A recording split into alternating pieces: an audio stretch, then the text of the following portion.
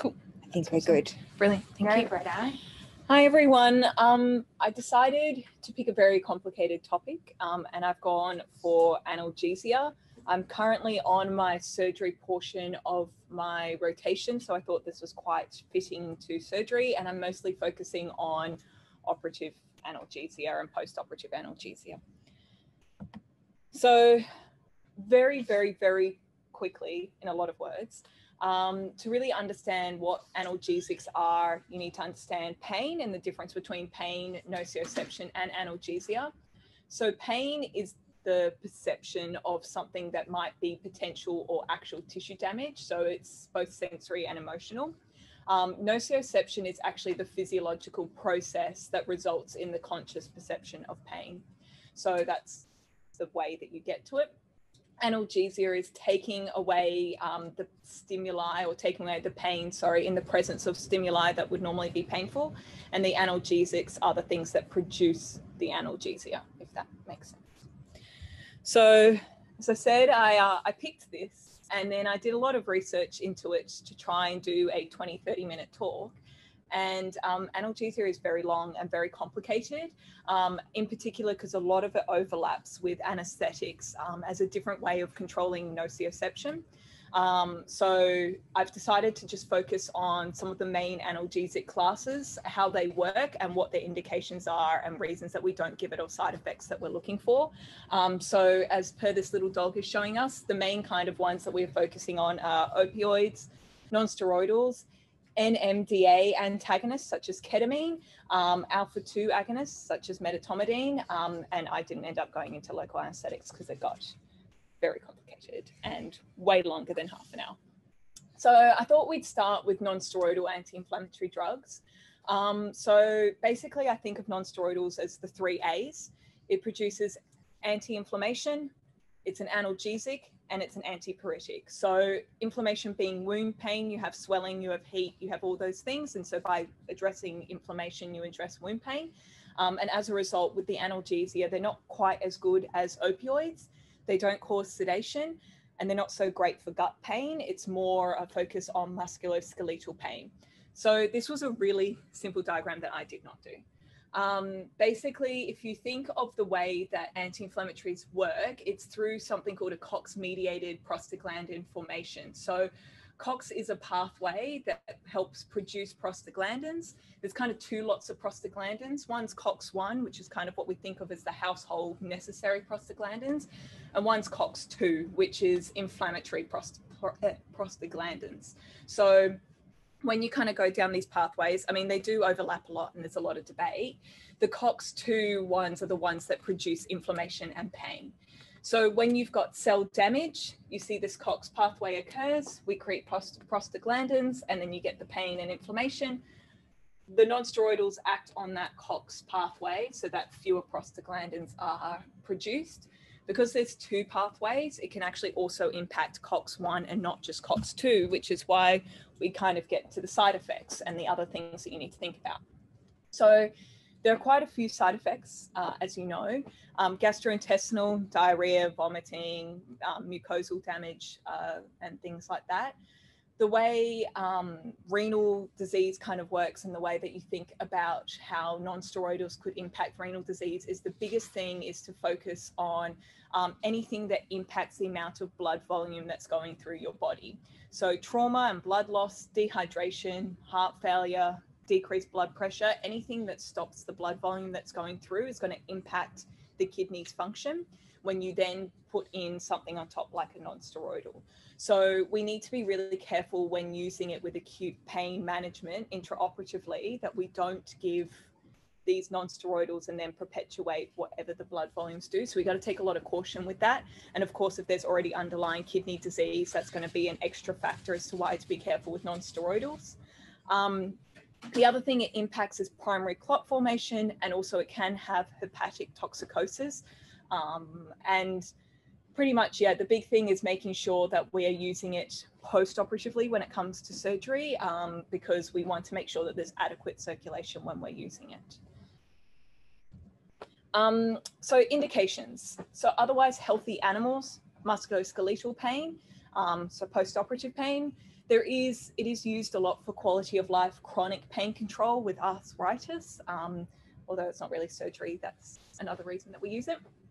Uh, and then the main kind of three ones that we use a lot and hear of a lot is meloxicam. And so that works mostly on the COX-2 pathway, whereas carprofen is not so selective and it acts on both the pathways, um, but it does seem to have more impact on COX-2 than COX-1.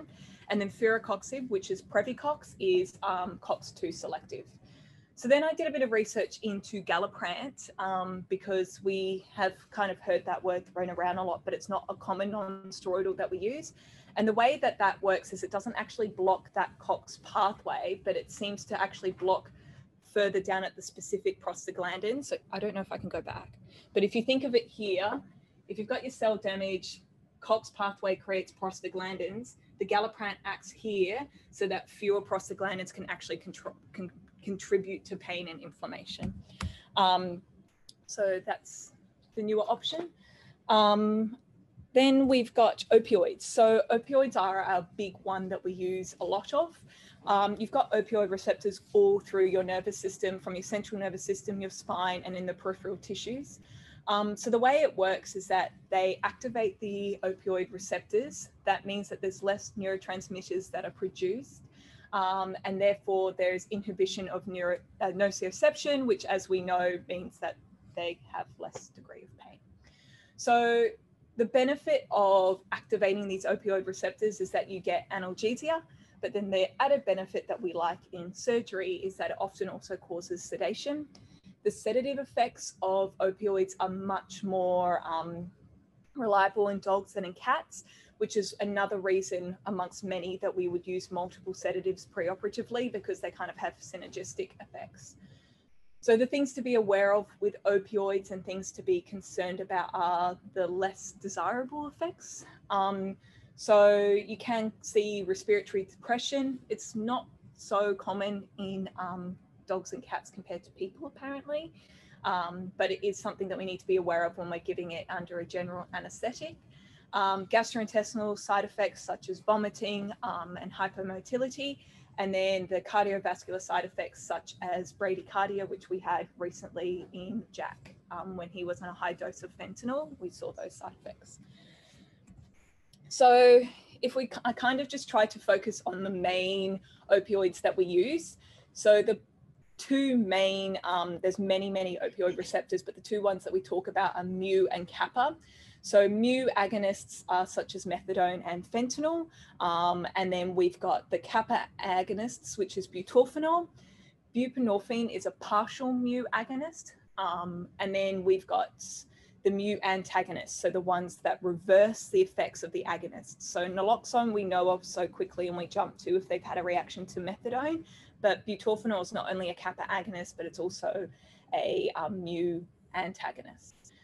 So it gets really complicated when you try and think about potency, um, efficacy for pain relief, and how affinitive they are for the receptors because of which ones actually bind better to what receptors. So agonists that have a higher affinity for a certain receptor can actually block the action of a different agonist with a lesser affinity. So compared to all these different levels. Now, if you look at potency, potency is actually impacted by both its affinity for the receptor and also its ability to cause pain relief at the site. So fentanyl, for example, um, is 100 times more potent than methadone, and buprenorphine is 30 times more potent than methadone. That doesn't necessarily mean that it is better pain relief than methadone.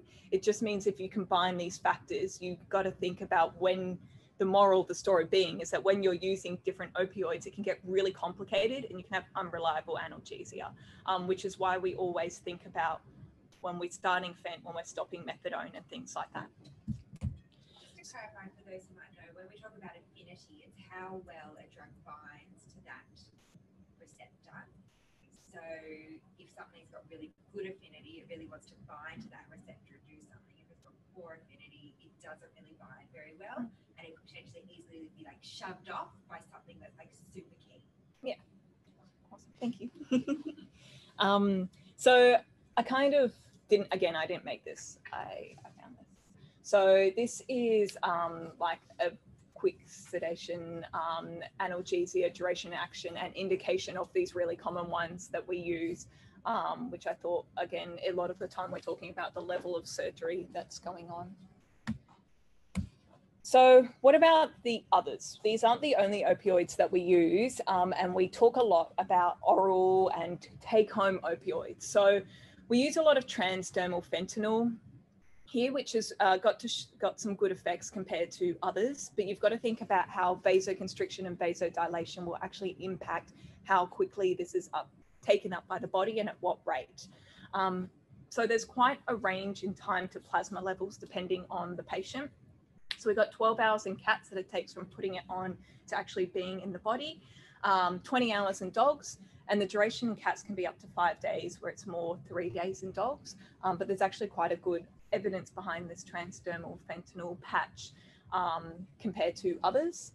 Buccal buprenorphine has good bio, bioavailability for cats, so it means that it's absorbed quite well when popped in those mucous membranes, um, and it actually provides relatively predictable pain relief for cats. There's a bit of debate about oral tramadol.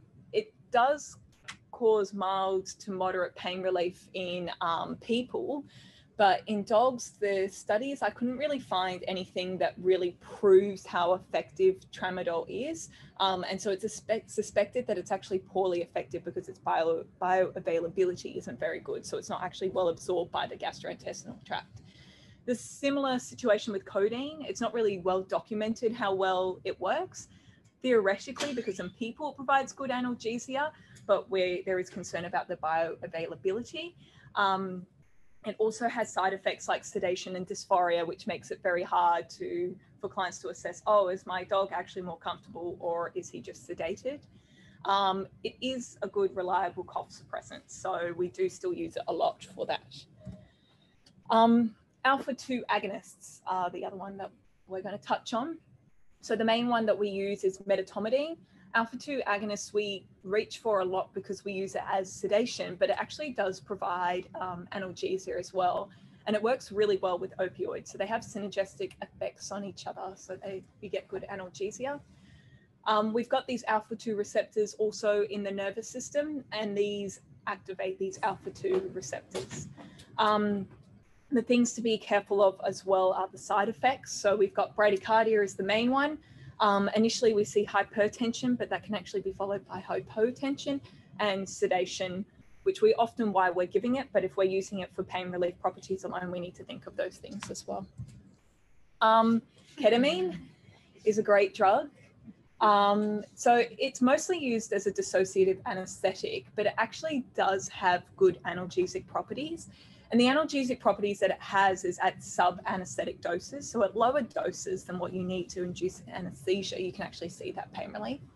Um, it also causes sedation, which is really great for our pain, painful dogs. So it gets really complicated uh, about how this pain relief works. But if you kind of think about, you've got your um, neurological system and where the pathways are passed through, it's through something called the dorsal horn. So what happens is that when you're painful, it keeps telling the dorsal horn that you're painful and you create, like, as I figuratively see, a wind up um, so that the body kind of is just being pumped again and again about it. So we've got um, like the NMDA receptors um, in this pathway. This is an antagonist of this. So it blocks that NMDA receptor and helps prevent that dorsal horn wind up. Um, it's really short acting, so that's why we often put it in CRIs. And its analgesia effects, again, are best when given with opioids and other things. Side effects is it stimulates the cardiac output and blood pressure. It's also a respiratory depressant. Um, it can cause skeletal muscle hypertonicity, so like twitching, um, and then behavioral changes, which we all know very well. Um, I decided to touch on gabapentin because we do use it a lot post-operatively um, and overall. There was a lot of debate. Um, I found a review article on someone who's looked at all the articles that were released since 2018 to 2020 on gabapentin. Um, and it seems to have some studies support analgesia and some don't it seems that post-operatively it doesn't have a lot of strong evidence, but with chronic neuropathic pain, there is evidence for it, but it's still quite limited information. With people, they do use it for the management of neuropathic pain. Um, there's studies supporting uh, anxiolytic effects, which we often use it for. So they don't, we're not really sure how gabapentin works in dogs and cats, um, but we think again it works at this dorsal horn and helps reduce the release of these excitatory neurotransmitters. Um, and it works on the dorsal horn and NMDA receptors. Um, the side effects, as we all know, sedation and ataxia. In people, they've reported hepatic toxicity. So I guess the conclusion that we kind of make from this is that it's a good adjunctive therapy, but on its own, we can't say that it reliably provides pain relief at home, particularly post-operatively. Paracetamol is an interesting one because it's one that we reach for a lot that clients are really scared of. Um, and I feel like almost every time I dispense this, I have to have a conversation of, yes, I know that it's toxic to dogs, but actually we do use it the main reason that we really push with clients, like in just general information that paracetamol is toxic, is that it's got a really low therapeutic margin. So it doesn't take much to overdose it. So it's just a lot easier to say to clients, don't give paracetamol unless you've been prescribed it. I once saw a Pomeranian um, who was lame on its leg. I think it had MPL or something like that. And the owners went, Oh, when my leg's sore, I give two paracetamol. So they gave their Pomeranian two paracetamol, and its liver was absolutely cooked. Um, the owner refused any treatment, took the dog home, let it hide under its bed for like days, and then it just somehow survived, uh, which was great for the dog. But also, I spent the whole time telling the owner, Your dog's going to die. And it just hid in, it just hid under a bed for a few days.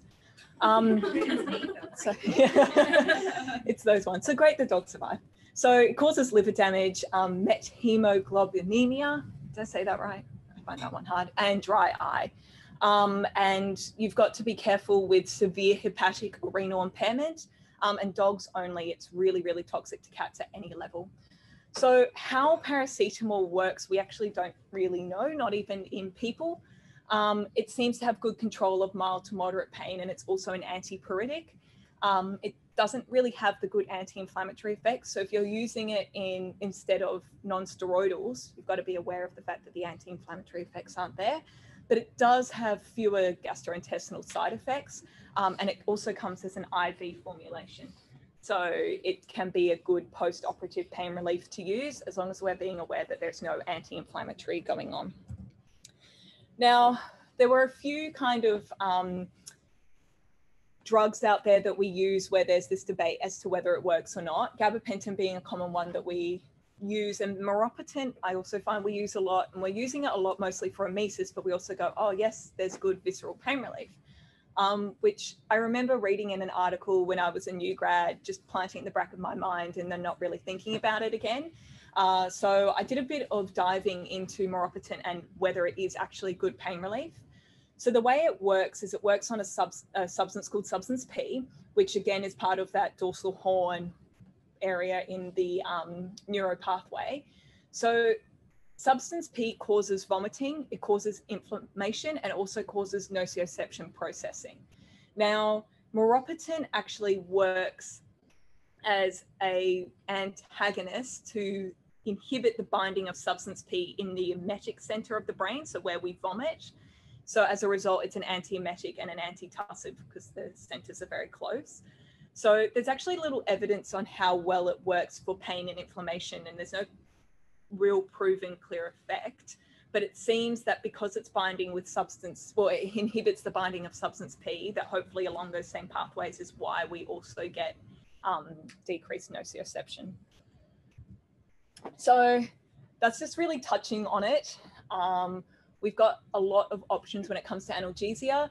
This was off clinician's brief, um, and it's just kind of got like a good little surgery thing. You probably probably can't see it. It's like really tiny. Basically, it's going through dogs, mild pain surgery, what your in-hospital options are, post-op options are, moderate pain, severe pain. Of course, here we do a lot of the severe pain ones, um, and what kind of medications we should be considering um, for different patients, but there's a lot more to learn. Uh, the main kind of focus being again on analgesic um, options when it comes to anesthesia as well, local anesthetics and things like that. Um, so there's still a lot more out there. Yeah.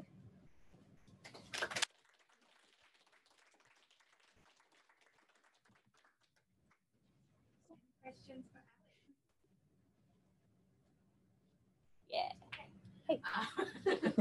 um, when you spoke about the fentanyl, um, the intradermal dermal fentanyl um, taking up to 20 hours to like reach the plasma, is that suggesting that we should either place the fentanyl patches on earlier or give them analgesia if they go home sort of the same day that it's placed on? That's a very fair point. And yeah, absolutely. If we're seeing that the general consensus was 12 hours for cats, that probably goes quite well because you probably think about in the morning at rounds, you place it on and the animal goes home at six. Yeah. But when it comes to dogs, it might actually not really kick in until the early hours of the morning. So should we be giving something in the meantime? Again, the hard thing is is that with the potency of different opioids, um, whether like as this was saying, the how the affinity if it binds and then the other one binds better. Um, yeah, Outside of fentanyl. but um, definitely. Good point. When I get to questions, I'm just gonna. Oh, yeah, keep fix up the next one. Yeah. Um, did you look into like oral bioavailability with buprenorphine in dogs? Because I've heard a few like mixed things. Like I used to work with a vet who was like, no, no, like there's studies now that show that like you can definitely use it orally in dogs. I guess the thing is, it's just I couldn't find anything. Almost all of it was in cats, and there was just saying there's no real proof about the bioavailability in dogs. So I think there's a too little information to say from what from what I could find. Too little information, but it seemed to be quite strong in cats that it's predictable in terms of the pain relief. I don't provides. think it is. Like when we use it. And it, it is hard, I find, when these ones that cause sedation. Like I've had plenty of clients who I've sent home on codeine where they're like, yeah, this was the best one. And you go, is your dog just calmer? Same with gabapentin, things like that. Um, but I guess part of that does come down to pain relief. I know if I'm in pain, I'd rather feel calmer. Yeah, Maybe- I'd rather be Maybe that's part of the whole debate of pain being not just physical, but also emotional trauma. And that's like in the definition I got out of those definitions were from veterinary giant textbooks on analgesia and anesthetics. And the definition, even in pets, is that it's an emotional pain response, which is also why pain relief and sedation are so good and important from the start of their visit, um, because we don't want emotional trauma either. We like to do that. Oh, no, you do. Use of intravenous lignocaine or lidocaine. So I did Yeah. think of that What as one. comments on that? I did think that of that as one, and I did start looking into it, and then it got incredibly complicated in the anesthetics part, and I had about six slides on analgesics, uh, sorry, anesthetics and local anesthetics alone. Um, I think from what I could tell before I kind of gave up on that idea of in this talk, is that it does provide some pain relief because it also impacts on the nociception pathway but the side effects such as nausea and motility really impact whether or not it's indicated in gastrointestinal surgeries. Um, but local anesthetics definitely have their place for providing pain relief, particularly if we are doing them like with what Carissa and Clorinda and everyone do with the knees. Yeah. So yes, absolutely. I can do that as my next talk, local anesthetics. But lidocaine in a, as an adjunct Yeah. intravenously works really well for, with every what with the other drugs that you've got in combination, like your opioids. It helps a lot Mm. in the anti-seems visceral pain. Yeah. So, like, I probably wouldn't use it as much, say, in a TPLO or something like that. But that visceral, like abdominal pain, or even thoracic pain patient, that they it can make a difference. It just kind of smooths out the analgesia and makes them can make them look more comfortable. But like Alex said, they can get super nauseous on high dose. Um, so basically, anything over 50 mics per per minute, they tend to get start to think about being nauseous. So you just got to be careful.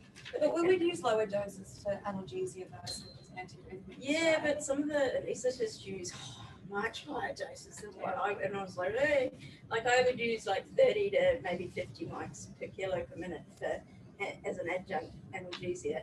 But I think Keely will go up to hundred point a kilo per minute. I'm like, oh, that's really. That's super high. Territory, territory, so yeah. And I guess the moral of the story is that all of this is about adjunct therapy Yeah. and adding things in, and better to have like a balance of lots of little ones than giving just five mics of fentanyl um, and then having those side effects, adding in ketamine and lignocaine and things like that.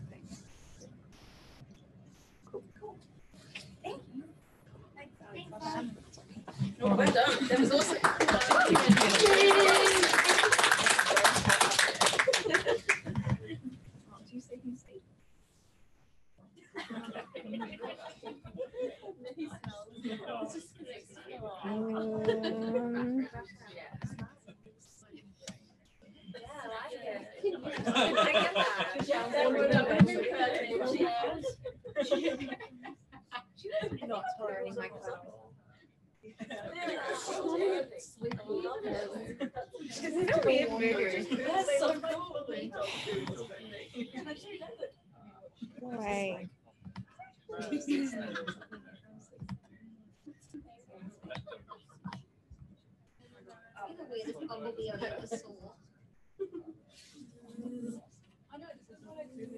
Right. Danielle, is that working? Yep, you can say it. Great. Go for it. Jess. All right, Jess, our medicine intern's up next. You probably might just have to click that to move through your slides rather than the keyboard. So you just press um, that one to go through. Yeah. Okay. Hopefully it'll open. I'll just come back out if not. I lied. We'll see. Um, hi guys. Um, so I started to do a talk on meningitis and then realized how complicated and big it was. Um, so I'm going to give you a general overview as it's a topic that we've seen quite frequently in the clinic as of late in the medicine department. Um, and the, how it presents can be quite confronting um, in some situations, particularly for owners. Um, but I'm going to focus on one of the most common um, subtypes of meningitis known as SRMA, which is a steroid responsive meningitis arteritis. Um, and I'll go through all the definitions um, and then hone back in on SRMA for you guys. Just had a little break.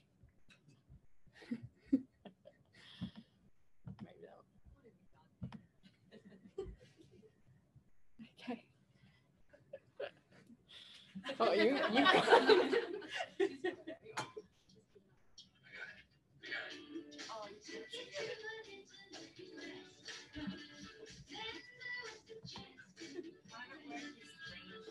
No, I don't think it does. Can't it? Is working? It's not. It's not coming up on the screen. I don't think it's gonna work. I think Oh. can make guide it somehow. Yeah. I can just do it for the people in house. It might have to be an in-person experience. Yeah. the benefits of turning up to my long conversation.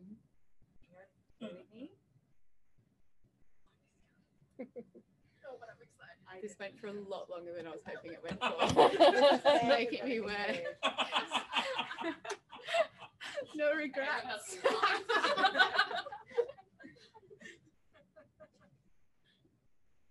it's all right, I'm really, no, I just feel like we built it up now. it's not even that good. It's a last minute addition to the slideshow. Um, I'm almost there, I promise you. Yeah, Eugene's leaving. it's not surgery, so it's okay. Is this it? Ye- Oh, he's got an ad. Alright. Skipping the ad. Panic. That's, is that an omen for my show? it's going down. All right. Are you playing it at both times? No, I think I'm just gonna do it. Do you have You just- I will. Sorry, guys, we're just gonna. Sorry for those at home. Liz, if you want to put that link into the chat, I'll see if I can bring it up on my computer and share it. No. Um, okay. It's not that good. I'm really sorry, Jess. Oh, Remember this is being recorded. Am I um, doing it? Am I doing it? the problem. Oh God. Should I just do it for the in-house one? Sorry, Mel. Liz, can you see the? I don't can think you see your work. sharing options? It's really I think not you're worth testing It's- my it's like a- technological It's like a skill. thing. We just need to sing "Let's Get Physical"? Is that what- No. No. Okay. All right. This is literally the worst way.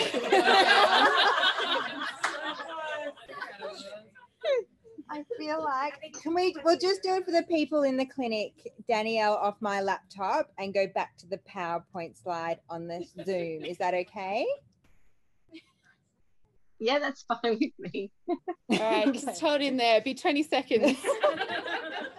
All right.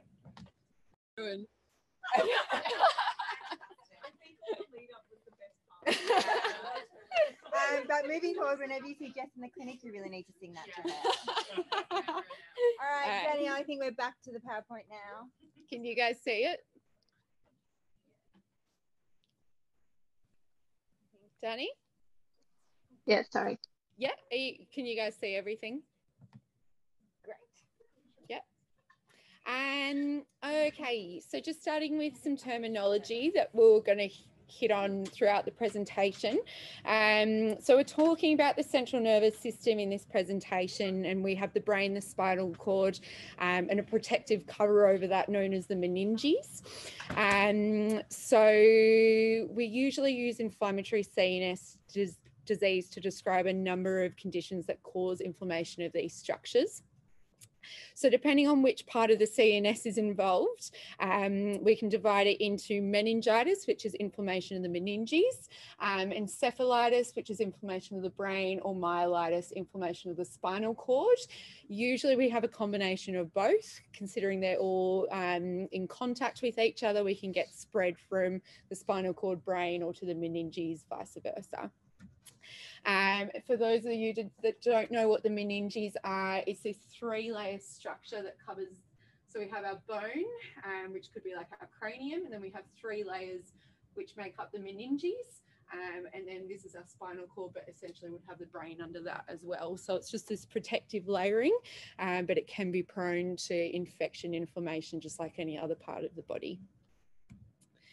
Um, so the main causes of inflammatory CNS disease can be loosely grouped into infectious causes, non-infectious causes, and then we always have neoplasia, and that can be primary, so present within these structures, or it can be secondary when we have um, metastasis to these structures, or I guess their widespread um, effects on these structures from whatever nasty things they're producing. Um, so if we're going through the infectious causes, um, we have quite a few. So we have bacteria, viruses, protozoa, fungi, rickettsia, and parasites. Um, bacteria, um, so bacterial meningitis, which can result in abscesses as well, quite common in puppies, but they do occur rarely in dogs.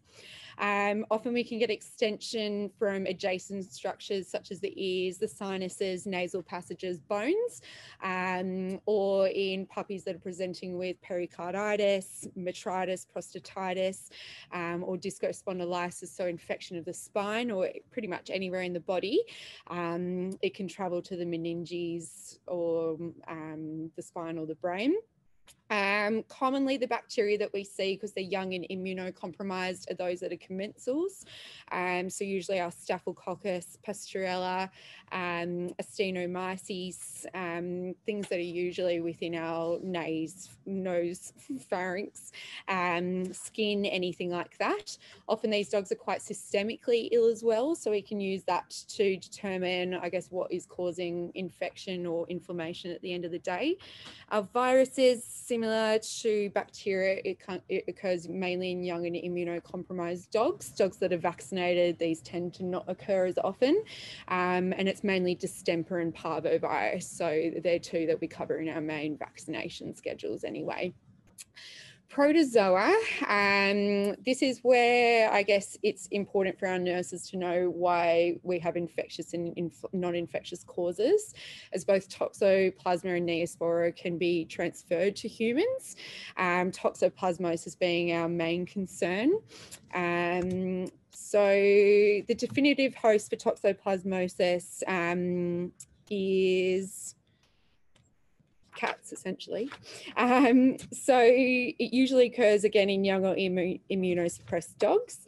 Um, it acquires from essentially dogs will pick it up from the feces of cats, um, or if they've left their feces on the grass, it can pretty much sit in the environment for really long periods of time in these little oocytes um, and can be picked up in the sewer, uh, in the soil, water, food, um, Important to note that these infections, once they're acquired, they can lay dormant in the animal for years and never cause infection.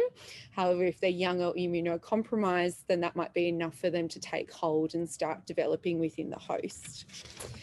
Um, so I think in one study in the USA, 20% of dogs had a blood test blood test suggestive of exposure, um, but they never presented for any signs of clinical disease, um, which is important to note. Um, particularly for pregnant women, this is when we get quite worried about having our nurses around these dogs. The, the risk is quite low, um, but it's still a known route of transmission. Um, so we'll need to put barrier nursing up until we've ruled out these infectious causes. Um, similar to this, we have Neospora. Um, so this is another product. Oh, I lost it protozoa infection that can cause uh, meningitis. And this can actually be passed on from um, the mother through the fetus and they can be born with it. Um, otherwise, you can get it from ingesting um, contaminated tissues, mainly beef, um, or uh, it can also be found in birds and small rodents as well. Um, similar, they can acquire this at any point in their life and it can remain dormant. Um, and active infection might not ever be, um, might we might never know our animals have these, um, but it's definitely something we have to rule out being dangerous to humans as well. Um, then we have fungi, we have Cryptococcus, um, and that's a little encapsulated yeast um, that's usually acquired by inhalation and can disseminate very easily from the nose up through the cribriform plate and then to our brain and all of those um, CNS structures. Uh, rickettsial meningitis, so we have two agents that can cause that, um, and that's Rickettsia rickettsii um, and Ehrlichia. Both of these are transmitted to dogs through ticks. Um, they're quite uncommon in New South Wales, but we always make sure if they've travelled to the Northern Territory or North Queensland, that's where we're going to find most of them. So checking where the dog has travelled um, and what it's exposed to, what prevention's on is very important in these cases. Um, and finally, we have our parasites. Uh, the most common parasite we know we see is rat lungworm, um, which is known as neuroangiostrongylosis. Um, where we actually have migration of these larvae through our CNS system, so it can have quite um, profound impacts on our animals. Um, essentially, they reside within the rat, but then the rat feces is ingested by snails and slugs, and our little puppies um, like to eat gross things that are moving. Um, so that's another thing that we ask commonly in our um, history, particularly in autumn and early winter when we're seeing snails and slugs come out, um, whether or not their dog is a scavenger and if they could have ingested something like this. Um, so they're our infectious causes. Then we have non-infectious causes, which is super complicated. And this is just a nice little picture to summarize it. Um, essentially, it's just a blanket term for any sort of disease that hasn't had an infectious cause behind it to cause inflammation. Um, originally, we had it grouped into several subtypes just based on where they their predilection site in the CNS um, and their histopathology characteristics, so what they looked like after we'd had taken biopsies. Um, but recently, annoyingly, as everything develops, we've changed the whole thing again, and it now falls under. Um, well, part of it falls under a blanket term known as MUO, which is meningoencephalitis of unknown origin. Um, essentially, any disease that's um, non-infectious that we can see on histopathology, that we can see on our um, imaging, advanced imaging and CSF analysis, um, we've been able to group under MUO.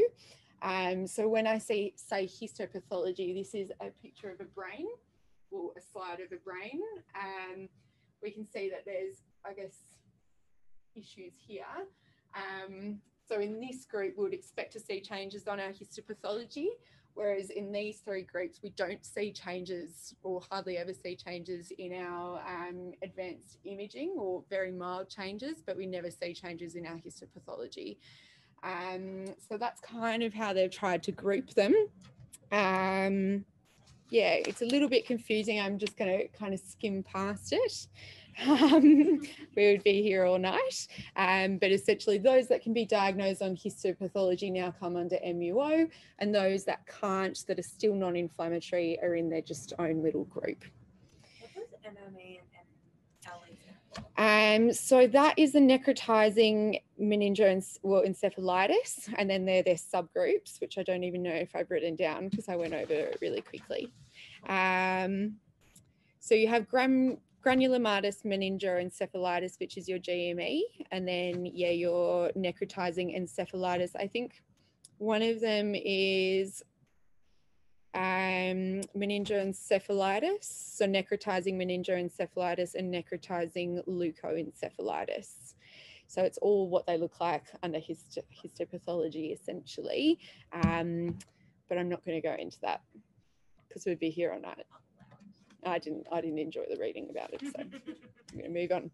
Um, so in dogs, meningitis is actually quite un- an uncommon disease. There's only two types of the disease that we see quite commonly. Um, one of them is steroid responsive meningitis, um, and unfortunately, the other one is MUO, MUE.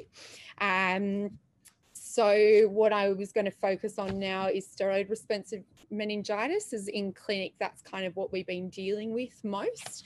Um, but I do have a case study to show you the difference between steroid um, responsive and MUE, just because they present quite similarly. And then our, I guess our role is to determine if just the meningitis, if just the meninges is affected or if we have brain and spinal contribution as well, ish.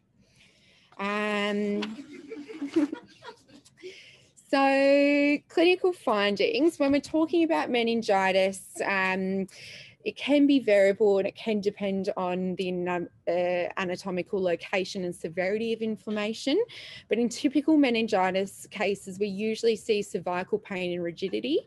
Um, and this is because we have a very dense innervation of meningeal tissue within the neck, and it's also highly mobile. So it's going to be an area where they're going to hurt the most, whereas everything else kind of stays quite stiff, as we know. Um, in addition to that, we can get hyperesthesia um, and painful muscle spasms in this patient, and that can present as reluctance to walk. They can have a broad like stance, arched spine. They can be resistance to manipulation of the head and other areas of the body, such as the neck and limbs. Um, we also typically see fever um, and this can be due to muscle rigidity released from pyrogens in our infectious courses. Um, in inflammatory causes, leukocytes can cause pyrexia as well. And we can also have hypothalamic stimulation. So our brain detects that as well and also increases our body temperature. Um, and we can also get increases of intracranial pressure as well when we have severe inflammation. And that can also impinge on parts of our brain that cause vomiting, nausea, bradycardia, arrhythmias. So we can have quite a few things, but the main things we see is usually cervical pain and rigidity, um, fever, and sometimes other pain in other areas as well. Um, when we have severe enough meningitis, it can lead to secondary inflammation of the brain and spinal cord. Um, and then when we see that, we have quite more, well, we have more severe neurological deficits. Um, so in addition to the clinical signs that we get with meningitis. We can also see changes in the in demeanour. They can become quite dull, depressed, or agitated. We can get um, effects with all our cranial nerves, which can cause blindness, um, loss of balance or motor control. We can even get things like seizures, circulating behaviour, and loss of consciousness, which is now starting to sound a little bit more like an intracranial lesion. Um, so the clinical signs of non-infectious inflammatory disorders, infectious and in times neoplasia can in fact present similarly because we can have these quite severe neurological signs when we have involvement of our spine and our brain as well, not just the meninges. Um, usually with our neoplastic lesions, in most cases, they are unilateral and sometimes we can use that to start to differentiate between neoplasia and our infectious inflammatory.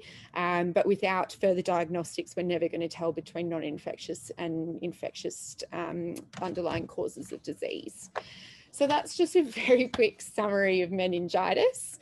Um, now, if we're focusing on, focusing on steroid responsive meningitis, arteritis, um, so this is a disease that is believed to be autoimmune. Um, so it's resulting from dysregulation of an immune system that's um, causing inflammation that's leading to cellular dysfunction and destruction. Um, essentially where it gets confusing is that we can have an initial inflammatory or non-inflammatory component that's stimulated this immune system to attack itself. Um, so it kind of starts layering on top of each other. It can be hard to differentiate out. Um, so in other words, I guess our CNS system starts to attack its own components of itself, like the meninges, like it would if there was a foreign body there or some other pathogen in the body. Um, we can have acute and chronic forms. Acute forms, we usually just see the fever, maybe lethargy and neck pain. Um, and then with the chronic forms, the meninges become so scarred that we start to impinge on our um, on our spine and it can even travel to our brain and cause further neurological dysfunction. Um, and that's when we can get all the other neurological deficits such as ataxia, tetraparesis. So if we're going into the where it gets confusing. But if we're going into the spine, essentially it can form, it can act like a lesion within the spine or that inflammation and thickening. So we can get hind limb deficits, we can get deficits of all front forelimbs, and that's going to help us where we pick to go for our imaging. Um, I'll go, it'll be a little bit more clear when we go through the cases, um, but essentially we know we have meningitis or we know we're looking for meningitis if we have fever and neck pain, and then we're looking for neurological deficits to see if it's traveled, how far up it's traveled, if it's in the spine or if it's in the brain. Um, so it occurs most commonly in young large breed dogs um, and the age of onset is typically under two years, but in some dogs we see it as old as seven years. Um, so this is why it's a very complicated disease to go through. And I really regret doing this as a topic now, but sorry, guys. Um, but there's no definitive test for this disease in the dog. Um, so we can only make a definitive diagnosis on post mortem.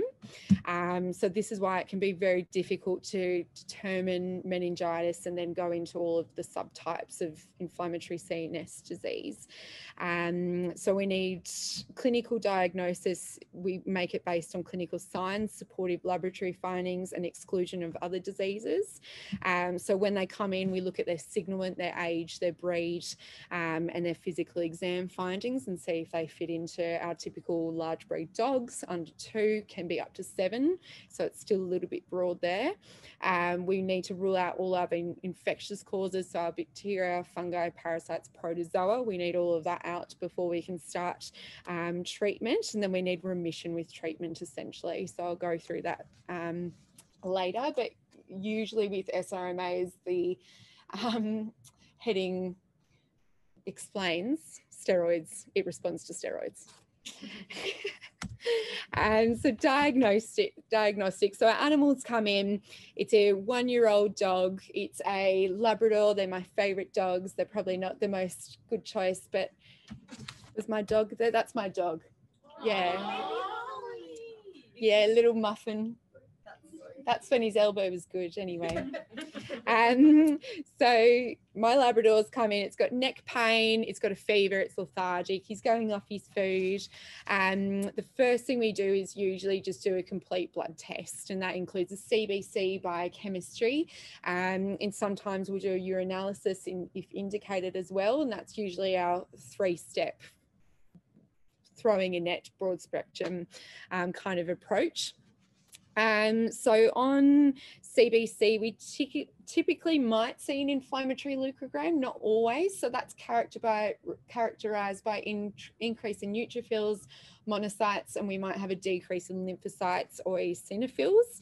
Um, we can also get low albumin, and this is known as a negative acute phase protein. So that will be used up in inflammatory causes quite quickly, but not always.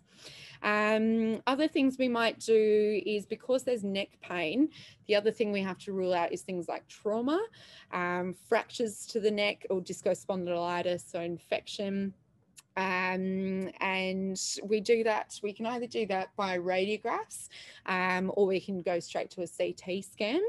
Um, in some of these cases, in the particular ones we've seen, um, with the signs that are coming in, sometimes they're quite focal to the neck. We'll just CT the neck um, or a little bit down the spine. In other cases, I guess when we have um, more severe neurological signs, uh, for instance, if, if we're getting tetraparesis, or um, I guess issues with our reflexes in our hind limbs, we may opt to CT not only the spine but go all the way down the spine um, and up obviously towards the brain as well so we can see just where the extent of disease is. Um, so CT scan also helps us, I guess, determine intracranial disease as well. Um, but yeah, ultimately we can start at CT and then we might go to MRI, but I'll come to that in a sec. Um, so the other thing that we use quite commonly um, is biomarkers. The one that we have in-house is known as CRP, which is C-reactive protein. So these are also acute phase proteins like albumin um, that we can use to measure, I guess, the degree of inflammation within the body.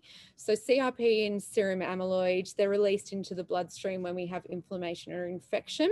And CRP is also found in the cerebral spinal fluid as well. So when we tap that, when we come to that, we can also detect it on that.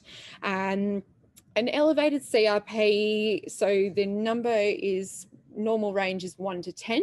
So elevated is anything over 10.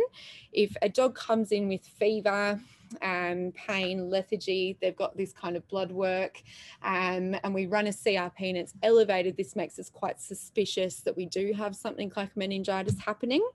Um, however, CRP can be elevated because it's not specific for meningitis, it can be elevated in any sort of inflammatory inflammatory or infectious process.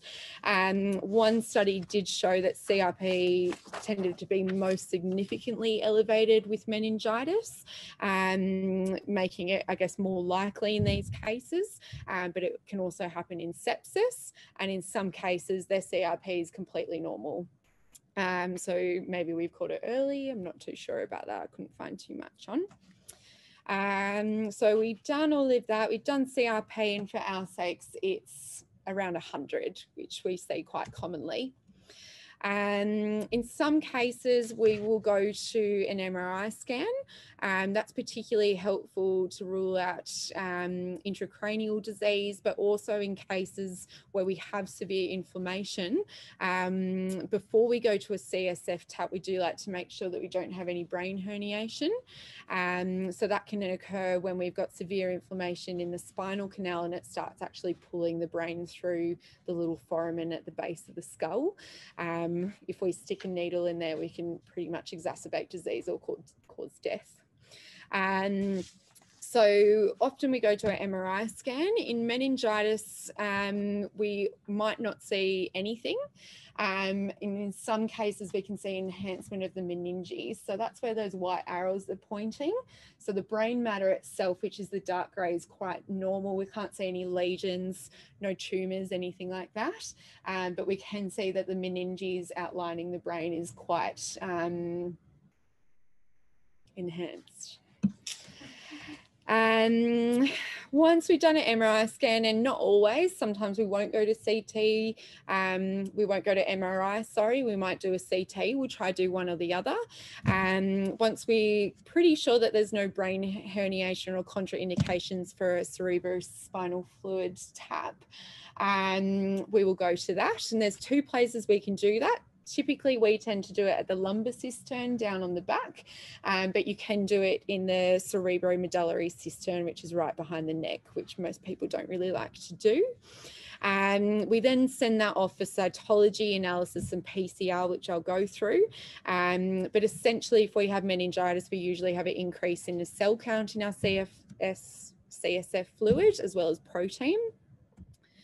Um, this is just to highlight the difference between meningitis and this case of MUO, where we had kind of lesions in the brain. Um, yeah, I just thought that was interesting. I haven't actually seen it while I've been here. I don't know whose head that is. It could be humans, I'm not sure.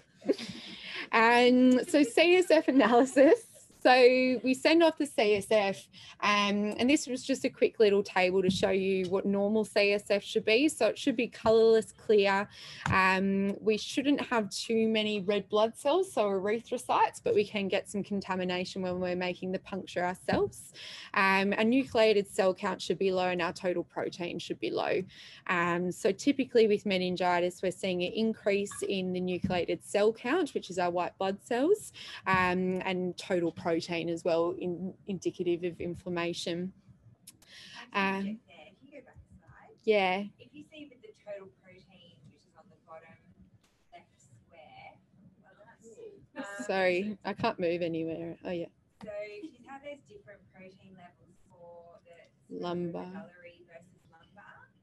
So probably medicine nurses might do this, but I don't about surgery nurses. So when you're submitting those samples to the lab, it's really Mm. important that you write down where you got your CSF sample from, because then they need to know what, which reference ranges they use for the protein. So just make sure on your pack when you're submitting it that you say where the CSF was formed for that reason. Hmm. Oh. Oh no. Okay. Um. So. Yeah, so normal CSF, um, when we're talking about unnucleated cells, we usually see small lymphocytes, monocytoid cells, which I actually couldn't figure out what they were, some sort of B cells. Um, we can see neutrophils only up to 20% is normal, and eosinophils we shouldn't see more than 1%. Um, plasma cells we don't typically see in CSF. Um, so that's something that I will go through shortly. Um, and then as we're taking the sample, we can get contaminant findings, so cells that are around the area. Um, hemopoietic cells are precursors if we puncture bone marrow and if we puncture the, score, the cord or anything around it. We're going to see the other cords, the other cells. Um, so when we get our CSF analysis back, um, essentially, a lot of it, a lot of the time, it comes back as a mixed cell pleocytosis. Um, so that means that we have an increased white blood cell count, um, and we have multiple white blood cell lines increased. So we have our macrophages, lymphocytes, neutrophils, and plasma cells, which can all be increased, and that doesn't help too much um, in determining what's going on, as that can still have quite a lot of differentials, both infectious and non-infectious. Um, they kind of narrowed it down a little bit, but the more I went through it, the more overlap you see and gets more confusing. Um, but our lymphocytes make us, if we have a predominant cell type of lymphocytes, and I'll go through this in the case study, um, we suspect it could be viral, it could be SRME, it could be the granulomatous type, necrotizing type, it could be neoplasia. Um, neutrophils we particularly associate with bacteria, um, but in acute stages of inflammation, we're going to get neutrophils. So we might see neutrophils in most of our um, causes of meningitis. Um, eosinophils usually relate back to our parasites, fungal, protozoan infections, but we can also see it in our um, eosinophilic meningitis, um, SRMA, neoplasia as well. And macrophages, luckily, we typically only really see in granulomatous inflammation, but they can hang around in other ones if we've had um, long-standing inflammation going on. Um, so that's nice and confusing again. Um, so this used to be, I guess, this was an older take on SRMA looking at the um, cerebral spinal fluid. Um, so we could get a predominant predominant suppurative or eosinophilic um, CSF back. Um, so now they're typically starting to say that we're getting those responses in response to what initially caused the SRMA, but they're all kind of encapsulating it under one thing. Um, but with SRMA, if we saw neutrophils or eosinophils increased or even lymphocytes, um, it would still be indicative that SRMA is still a possibility. So it's a little bit all over the place. And the other thing we do with our CSF and our blood testing, our CSF, we also send it off for a PCR panel. So that's going to cross off most of our infectious causes for us. So it covers toxo, crypto, angiostrongylosis, the rat lungworm, neospora and canine distemper. Um, in some cases, we do get a dry tap with our CSF, so we don't always get to tap the CSF. Um, and in that case, that makes this a little bit more difficult. But luckily, we can send off some blood to test for Cryptococcus, Toxo, and Neospora. Um, as I said, with toxo and neospora, and the only difficulty with that is that you can have previous exposure but not have active infection. Um, so when we get the results back, we have, I guess, tiers of results where it can be a weak positive, a positive, or a strong positive. A weak positive can indicate that they've been exposed to it. Um, and in that case, we might opt to repeat our toxo and neospora titers um, in four weeks. Um, if we're seeing that those um, testing levels are increasing, then we're it's more indicative that these are active rather than previous. Otherwise, it's staying at the same level, um, then we might just say it's exposure and that it's not actually the cause of our underlying disease. Um, okay, so where am I? This is a long one. Um, so essentially, we've got my dog that's come in. It had fever, neck pain, lethargy. We had some white blood cell changes. His CRP was off the charts. Um, we did a CT scan, and there was maybe some meningeal enhancement, no um, signs of no lesions. And um, then we did all of this testing as well, and that all came back negative. Um, I guess on the basis of all of that, what we start to do is do a treatment trial with steroids. Steroids, not these steroids. But I once had a client ask me, being like, You're putting my dog on steroids, like gym steroids? And I was like, Yeah. But we're not. It's a completely different steroid. I'd love if my chocolate Labrador came out like that. Um, so once that we once we've got all that back, we do stabilize the patient, um, and that includes the addition of pain relief. So we might opt for paracetamol.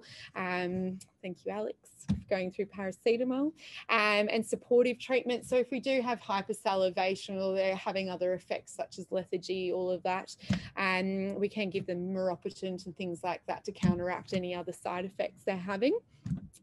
Um, now, at NVS, um, we do actually commence prophylactic antibiotics. So we commence clindamycin, um, and this other actually covers our toxo and our neospora. Um, so we start that prophylactically until we get those infectious titers back. Um, if they do come back as a weak positive, we may opt to keep them on those for four weeks before we retest it, um, and then even longer if they're truly positive, but that's just as a precaution. Um, some clinicians can put them on prophylactic antifungals um, for cryptococcus, but I haven't seen that being done. Um, and what we eventually do is commence an immunosuppressive. Um, some clinicians will start this. So with our immunosuppressive, we can have anti-inflammatory doses at low dose, and then we can have immunosuppressive doses at high doses. In some cases, some clinicians will start at an anti-inflammatory dose while we're waiting for our infectious titers to come back. And that's because if we suppress the immune system, they're not going to be able to fight all of our infectious causes, even though they're not that common. Um, typically what we do is we give them a intravenous injection of dexamethasone. Um, Plumb's says it's really high at 0.5 to 1. We typically use 0.35 um, mgs per kg IV. And then we observe their response over the next 24 to 48 hours. Um, typically, we start high doses of prednisolone after that time period. At we usually do about two to four mgs per kg, um, and essentially the mainstay of treatment is this steroid. So we're going to keep them on that high dose um, for about three to four weeks or until they're clinically stable. Um, in dogs where we've had elevated CRP, we might actually retest that at the recheck. Um, and if that's coming down, then we might opt to start tapering that dose very slowly. Um, if remission is going to occur, it most commonly occurs while we're tapering this dose. Um, so remission, we might see them become um, painful in the neck again, lethargic, inapetent, or a fever might come back. Um, or if we're using CRP as one of our um, indicators of treatment, that might start to go back up. Um, so I guess the goal is to completely taper them off. In some cases, we can't, and they're on a very low dose for a very long time.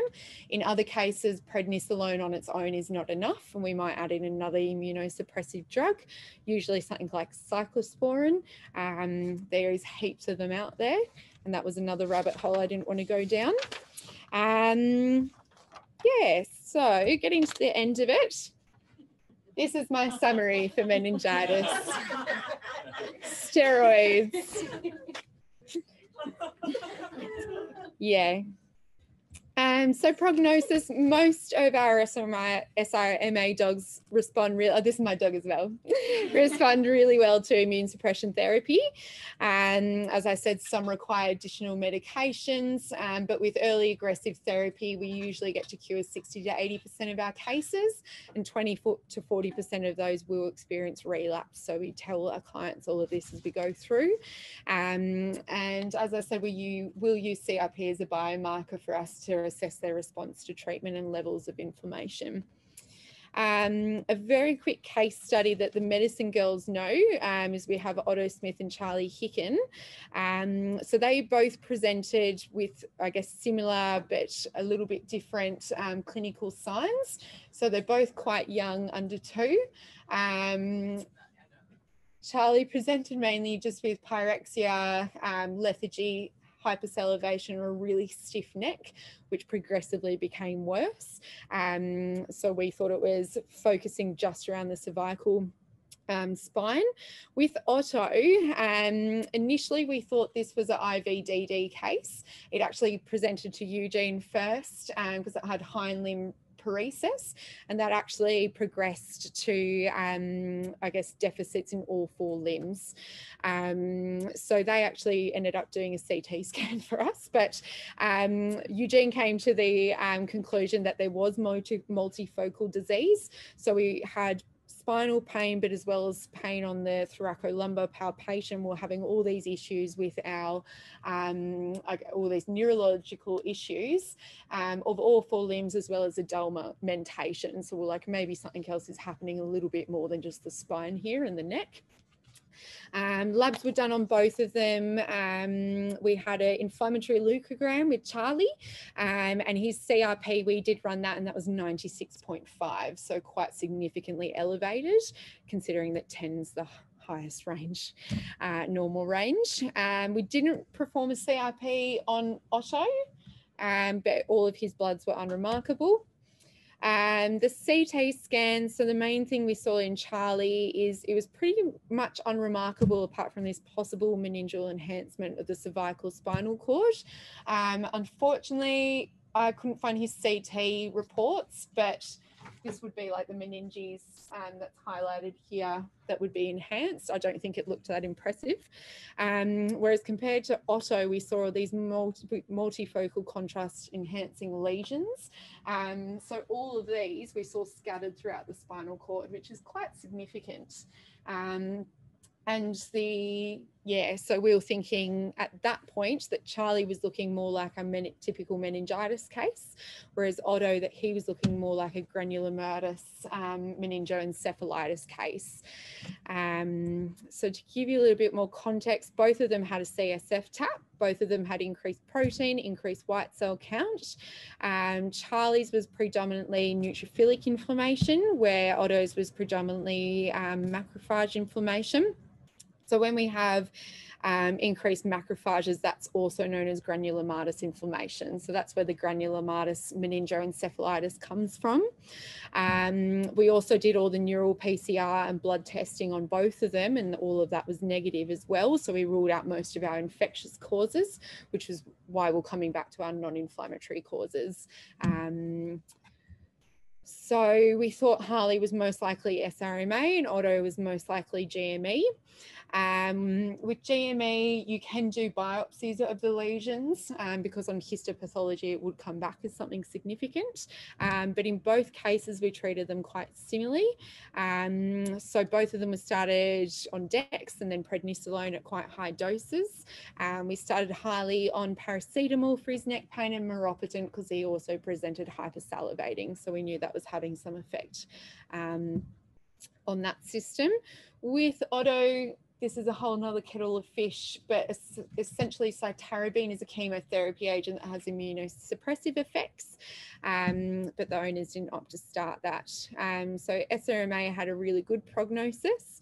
Um, CRP, when repeated at two weeks after being on PRED for two weeks, it had come back within range at 1.3. So that was at like 96 or whatever before. And unfortunately, with GME, um, because we have all of these lesions within the spinal cord, so all those macrophages formed those lesions, um, it has a really poor to guarded prognosis. Um, essentially, there's space occupying tumours within the cord and the brain. Um, and we actually saw him today for retech, and he's quite deteriorating neurologically and he's actually probably going to be put down soon. Um, but yeah, that's kind of how meningitis, and then you go everything else. And I'm done. Apologies.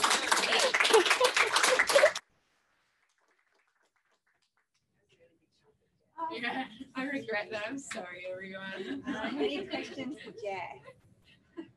No. Um, I think from a nursing point of view, probably the key things would be like documenting trends in these dogs. Like they can just think really quickly. They don't even make their recheck appointments. So if you're seeing bradycardia or changes in mentation, particularly bradycardia with hypertension, so we're worried about increased intracranial pressure, like grab us, like tell us, because they can just go from being very well to very abnormal very quickly. So they go it's need really consistent and attentive nursing care. And I also thought I really love that you brought up toxoplasma. I thought I'd just briefly touch on this because that's a question I get a lot from a nursing perspective in terms of the infection control. And so you might see that there are signs on the cage that say like potential toxoplasma, potential zoonotic disease exposure. The risk you guys is really low, but we highlight the risk mostly just so you are aware. So the way that toxoplasma works in cats is they eat, let's say you've got toxoplasma in some raw kangaroo that they've been fed. They eat that, the toxoplasma goes through their guts, they poo it out. Then over five days, those um, what they call oocysts sporulate. And then if the dog comes and eats that poo that's been sitting out for five days, they can then get the like those organisms are now infectious. The dog eats the infected poo, goes through their gut, and then it can spread through their whole body. So that's kind of the process that it takes. If they eat like a fresh poo from the cat's butt, can't cause them a problem because those organisms haven't had a chance to become infectious. So the risk, like for that all to happen, is pretty uncommon. Probably the ones that we highlight the most is cats that have potential toxoplasma. So what happens is they eat the toxoplasma in that raw kangaroo. It goes through their gut, and then that toxoplasma goes through their gut to the rest of their body. So in this situation, to their brain. So it's not in their poo. So don't worry. And by the time it's gone through their gut and had a chance to spread to their brain, they've pooped it all out. Like if they are here with us, they've already done their infectious poo at home they're not doing infectious poo in the hospital. And even then, we're not letting their poo sit in their litter for five days. Yeah. And then also the argument is, well, what if they then get poo on their coat and then they groom, like they're such fastidious groomers that they normally will groom it away anyway. So the risk to you is if you then go and eat that cat. So you need to like, yeah. Yeah.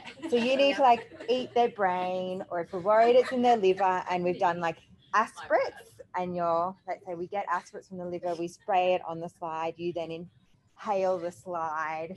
Like all these things need to happen. So the risk is low, but but the, the, like there is still a very small risk. And if you're immunocompromised or pregnant, that's where we worry. So when we say possible toxoplasmosis, it's so you can make a decision about what your risk is. If you just wash your hands after you eat the cat, like, well, that's not true. But if you just wash your hands after you handle the cat, then you should be okay. Yeah. I literally spent my whole semester this um semester like researching toxoplasma. We like tested all these dogs. And they're in like forty or fifty percent of dogs in Sydney have toxoplasma in them. Yeah. And apparently like most of us have already been exposed and people have already been exposed. So I'd like like to know the percentage of humans. I reckon we all like that they most of us would have, especially Yeah. Like I'm industry, sure I have yeah. so. and they're like it's not even worth testing people because it's like not an issue and it's not Yeah. So I haven't seen the study, and that's a really good point. Is so our exposure is potentially to cat's poo, but you just have just as much a risk eating salad that's not been Or raw cooked, that's contaminated, or raw meat. I understand I've never eyeballed the study, but I think they tested your immune response to toxoplasma if you work in the veterinary field versus just a normal person out in the community, and your risk of exposure is no higher. So you like still by all means, if you have any concerns, chat to your primary healthcare professional, and particularly if you're pregnant or immunocompromised, you should do that. But if you just have good hand hygiene, your chances are very, very low. But we put those signs so you can make your own personal decision about your potential exposure. So if you see that, just try not eat anything that you shouldn't. Actually, I have a question for you, Liz, like in regards to that. Yeah. In terms of like using prophylactic clindamycin, Mm, like are we worried about that in terms of like antibiotic stewardship and like Yeah. using it? We don't absolutely. need to, and if so many of these tests come back negative, why are we using? it? Very good question. I love that you asked that and I have an answer. Um, so the risk that we have is those infectious titers that we can test toxoplasma and neospora for. They take 14 day, 14 business days to get a result back. So in animals where we have a high index of suspicion, we might put them on clindamycin, but they do need to tick a few boxes. So just coming in with neck pain and a fever, in my opinion, and it is clinician preference, Josh might have a different um, take, but that's not enough for me to put you on clindamycin. If you're a cat that gets fed raw kangaroo meat, and we know that's a risk factor for, clin- for um, toxoplasma exposure, or you're a dog that gets all the raw meat in its diet, then we'd be a bit more worried about that. So I think they need to tick a few extra boxes, but you're absolutely right. We shouldn't be using it if we don't have a decent index of suspicion.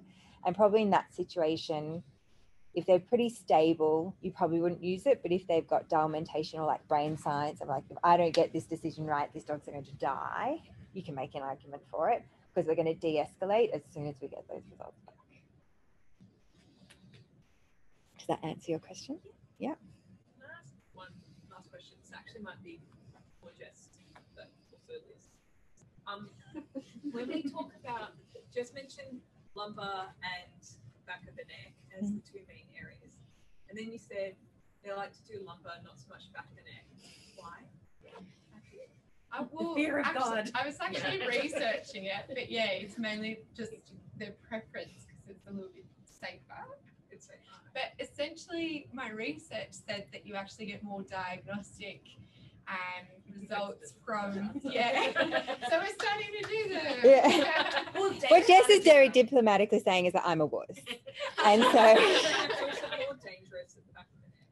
well, only if you don't know if their brain's herniating or not. So you don't like pit the brain if it's in their spinal cord, which often we like to do MRI. So it's hard to see that on CT. Sometimes you can see it. But if you've done an MRI first, then the chances of that is low.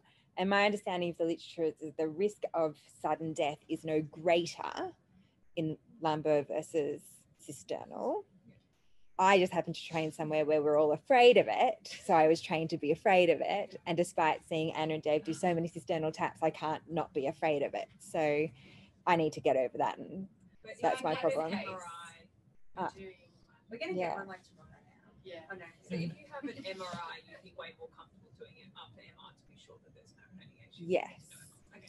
And the trouble that I have is because I'm so afraid of it, so I'm afraid of it for animals dying, is that often by the time we get to CSF, we're pretty sure we know what we're dealing with based on the signalment. Like, so it's just saying, like SRMA, if you're a large breed young dog with neck pain and a fever, you have SRMA until proven otherwise. If you're a seven year old pug with multifocal brain disease, you have NME until proven otherwise. Like, we can kind of pick it. So if I know I'm probably going to throw steroids at it no matter what, do you want to kill the dog just to do my CSF tap? Probably not. Chances of that are low, but yeah, it's weighing it all up. I just wasn't sure. But we should do more cisternal. And there are some places that do, like at North Shore, they do cisternal and lumbar. They do both. I was gonna say, if if you get a dry tap on lumbar, could you try Definitely. and get a CSF. tap there? Yeah. Yeah. Isn't it with, um, like we, I think I remember reading that, um, lumbar taps are better for rat lungworm because they, it stems from the, They migrate up. they migrate up Mm. from the lumbar region. So you can, there's kind of some paper comparing the two, but I think lumbar taps are. I mean, in, read that too, but I- in theory, it's all meant to communicate and like it should be representative, but whether that's real world. And I think it might be that we used to get away with it, but now that we pick these things up earlier and probably dogs are getting tapped earlier because we know about rat lungworm more, that maybe we are picking it up when it is more kind of lumbarish than higher up. Okay. Sorry, I have another Oh, yeah. um, with brain herniation, like being worried about that, would they like? Is there a chance that they could not be clinical and have brain herniation, or would it be pretty like they will be neurological? Yeah, that's a really good question. I mean, they should be clinical. I think it probably depends on their breed. So if they're like a cavy whose default status is maybe like a bit of brain herniation on a good day anyway, like, sorry, who am I offending? Oh, sorry. Lovely dogs, but structurally questionable. Um, like, you know, they probably have a high tolerance. So, yeah. And have you ever seen it? Have you, you guys have a cisternal tap go back?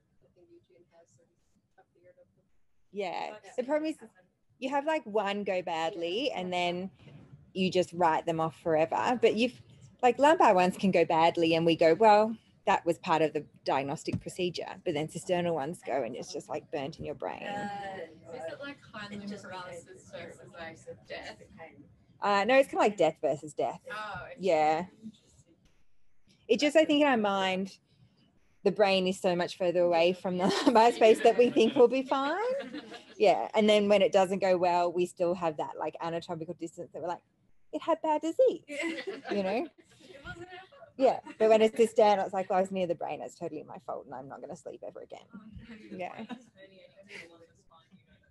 yeah. I'd expect it to be clinical at that point, Nina. Even a cavi should show some. All right. King, you're up.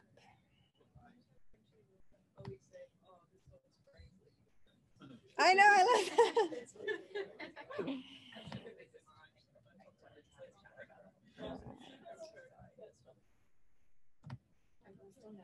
Okay, Danielle, is that working? Yep, I can see toxicology. Great, thank you. All right, King, you're up.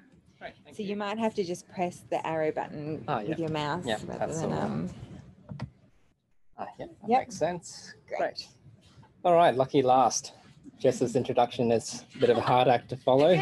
Um, but uh, thank you all tonight for turning up and thanks Mel for tuning in. Uh, intoxications are common presentations in ECC settings It's a huge topic, and as we are no doubt aware, there are many textbooks out there that run into hundreds, if not thousands, of pages. So I won't be attempting the impossible tonight and trying to cram this whole rich and wonderfully complex subject into 30 minutes. Uh, so what we'll do instead um, is we'll get acquainted with some key terms and concepts in toxicology. Uh, then we'll explore our general approach to intoxication, which I hope is a sensible way to go. Uh, life would be very difficult if we have to memorize a unique approach to each poison that we encounter, and the list of poisons is very long. Uh, so I initially did intend to take us through some common toxicants, but half an hour simply just doesn't allow enough room for that. So let's get into our uh, important terms. Um, so the terms on this page, it's probably something you've heard before, but for every specialty or profession out there, there's a set of terms uh, and concepts that allow members to communicate clearly and accurately. So let's take a look at uh, some of these things here. Uh, so let's start with, um, uh, hang on. Let's start with toxicology, which is the study of poisons. It covers the nature of poisons and their effects on animals. In the clinical setting especially, uh, toxicology also deals with the diagnosis and treatment of poisonings. Next, we have uh, this set of words, intoxication, toxicosis, and poisoning, uh, which are used interchangeably and basically refers to the pathological condition of being poisoned, be it through ingestion, inhalation, application onto the skin, or any other route. Then we have the word toxic, uh, which is the adjective for substances that are deemed poisonous, uh, but as we will see shortly, uh, everything can potentially be poisonous. Uh, practically speaking, then the term toxic is reserved for substances that have the highest likelihood of causing harm. So a toxicant is a poison. Uh, it is a substance that can cause harmful effects by its inherent qualities. So this excludes things that cause harm primarily through mechanical means, such as a knife, or extremes of temperature, such as fire.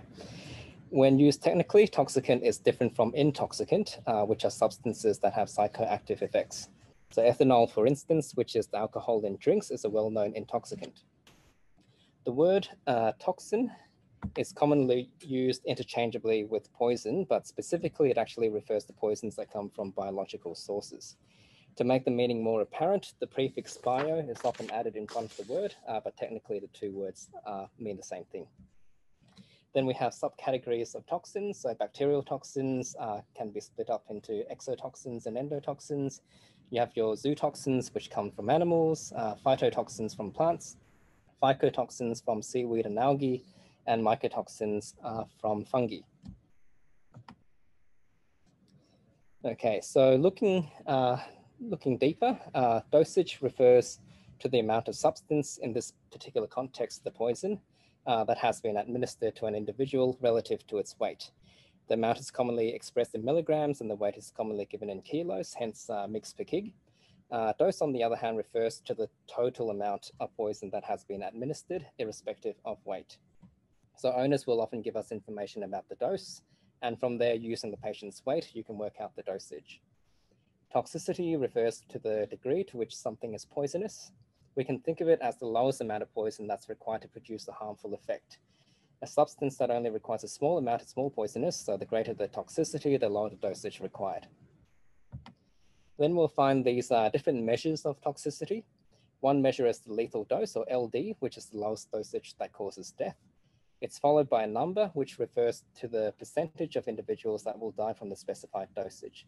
The most commonly used number is 50, which gives us a median lethal dose, or LD50, which is the dosage that will kill half the test subjects when exposed to a particular dosage of a particular poison. Another common measure is toxic dose, or TD50. Uh, so this is the dosage that will result in a toxic effect in half of all test subjects. With the lethal dose, the, um, the toxic effect is obviously death. Uh, so with toxic dose, the actual effect must be specified, otherwise it won't be meaningful. Uh, so this is a very commonly um, uh, commonly used quote. It's found in a lot of textbooks, and it's um, attributed to the German Swiss physician and alchemist uh, back when they were still alchemists in 1538. Uh, so he he's, he wrote that all things are poisonous and nothing is without poison. So the dosage alone makes it so a thing is not a poison or, or is a poison. So that's a mouthful which is often paraphrased into uh, the dose makes the poison. Um, so it's a, quite an important um, concept in toxicology. So it's not the substance itself, uh, but rather the dose that determines whether something is poisonous or not. Uh, so to illustrate this point, uh, water can be toxic when consumed in large enough quantities. There was a real life incident where this has occurred. In 2007, a woman in California died from water intoxication. She was um, in a radio competition called Hold Your Wee for a Wii, where contestants were tasked with drinking as much water as possible without urinating, and that did not end well for her.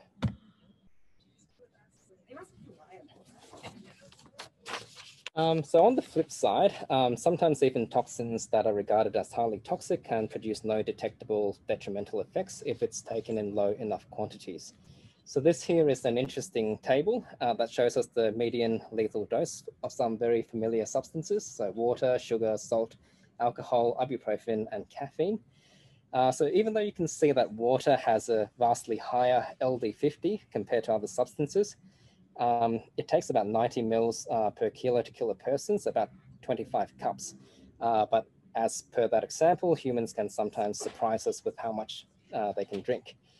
On the other hand, you can get substances uh, with a lower LD50 that can be extremely difficult to get poisoned by. So sugar is a good example. It's got a lower LD50 than water, but I can't imagine anyone um, consuming 168 tablespoons in one sitting.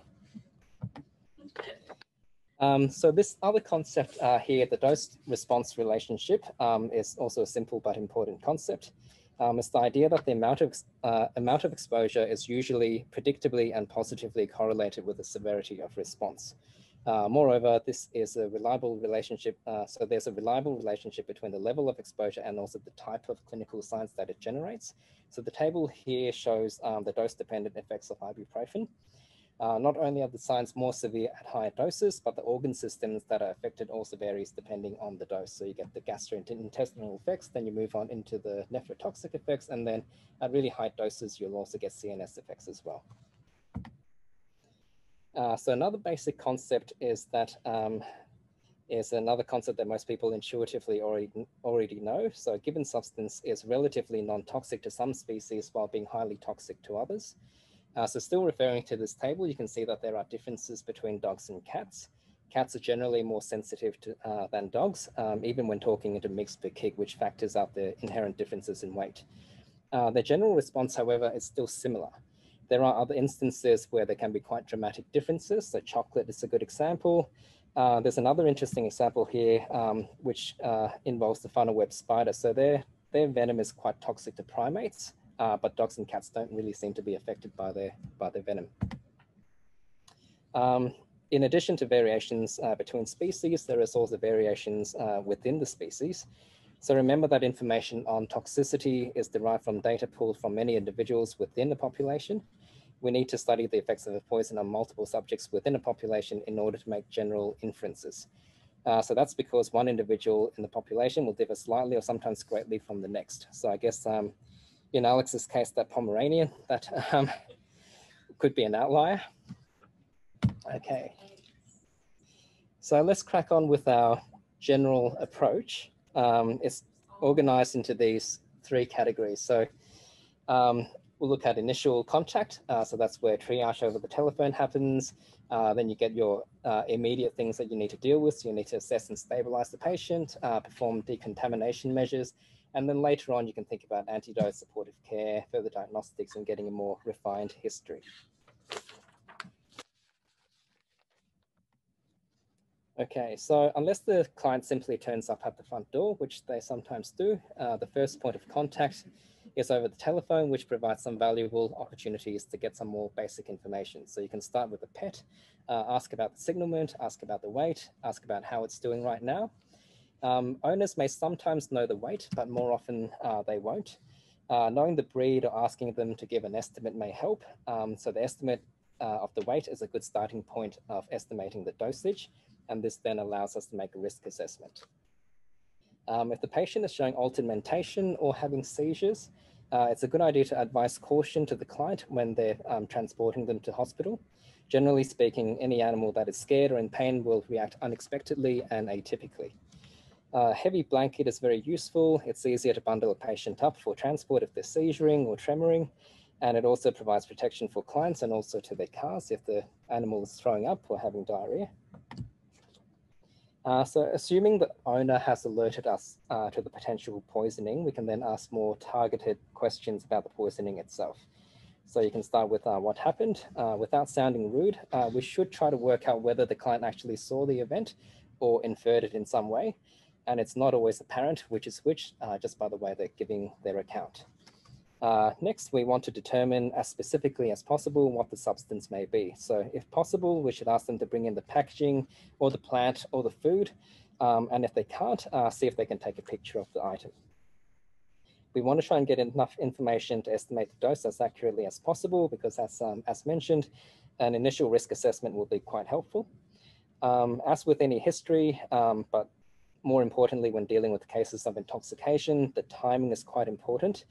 Uh, this information can raise or lower our suspicion of a poisoning. For example, if a poison um, we think might have eaten something with severe and rapid effects but shows up completely fine, that might make us think that lower than feared doses were ingested. The timing also helps us assess the relative benefit of uh, inducing uh, emesis. Uh, then we can move on to some more uh, general questions about the background. So knowing what uh, current medications uh, the patient is on is important. Uh, they can sometimes be the cause of the problem or add to the problem. Uh, so as an example, if we're worried about a patient with um, NSAID toxicosis and they're already on NSAIDs for management, say, of arthritis, that's really important information to know. Uh, also revealing sometimes other medications that, that the owner is taking themselves. So things like ibuprofen, acetaminophen, decongestants in pseudoephedrine. Um, and supplements can sometimes be a blind spot as well. So a lot of owners will not voluntarily uh, give that information, even unless specifically asked. So you can have a conversation with them about the medications, about their diet, uh, but they still won't really mention anything about supplements un unless you ask them. Uh, the pet's environment or lifestyle can also provide some valuable insight. Uh, the risk of exposure to toxins and the types of possible exposures will vary according to the environment. So Having unsupervised outdoor access opens up a whole world of potential toxicants, so things like poisonous plants, mushrooms, yard treatment, uh, dirty water, and the list goes on. Uh, the walking route or off-lead areas that they might be, uh, that the owners might take them could be relevant as well, especially if uh, things like 1080 baiting is suspected in an area where they live. Um, children and visitors are also common culprits for unintentionally giving pets something toxic to eat. Uh, current illness is always good to know. Um, it affects the way we manage the patient and it also influences our prognosis. And one other point to um, uh, perhaps mention is uh, to ask the client if they have any other pets. Sometimes uh, they'll only bring one, uh, the, the one they consider the naughty one, uh, when in fact they've got other pets at home that might have also had access.